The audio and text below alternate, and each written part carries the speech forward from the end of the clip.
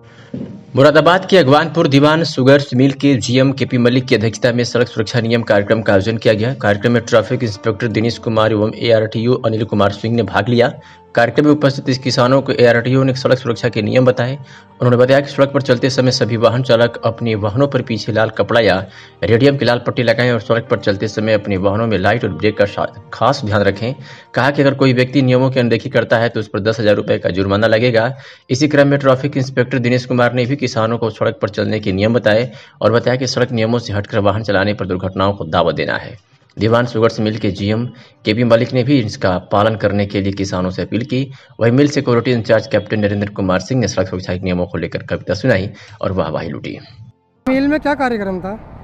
मिल में सड़क सुरक्षा के अंतर्गत सभी ट्रैक्टर पे रिफ्लेक्टर टेप लगाया गया और किसान भाइयों को एक्सीडेंट प्रूफ करने के लिए समझाया गया कि आपको किस तरीके से चलना है और किस तरीके से कोहरे के समय में आपको क्या क्या यातायात नियमों का पालन करना है ये सब बताया